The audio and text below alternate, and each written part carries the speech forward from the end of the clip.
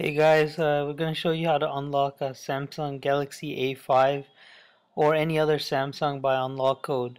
So uh, you can get the unlock code from unlockingcodesource.com. Uh, they provide unlock codes for every brand of phone, uh, Samsung, HTC, LG, Motorola, Sony, ZTE, Huawei, Apple, Blackberry, etc. Alright, so let's go ahead and do this. Uh, what you're going to need is a SIM card from a different network. Uh, you're going to pop that into the phone and turn it on. In this case, we're using a Fido SIM card as this phone is currently locked to Rogers. So pop it in and turn the phone on.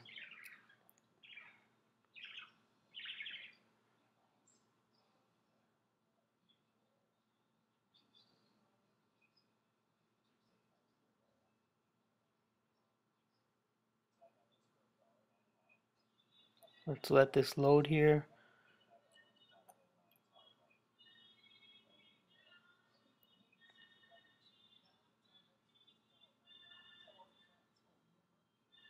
Okay, as you can see it says invalid SIM card, network lock SIM card inserted. So what you want to do is swipe up and the phone says SIM network unlock pin. So here's where you enter the unlock code you get from unlockingcodesource.com.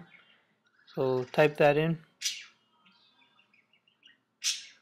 and make sure you use your own unlock code. Don't use this. This is just for this phone and uh, as you can see it says network unlock successful and that's it. Your phone's now unlocked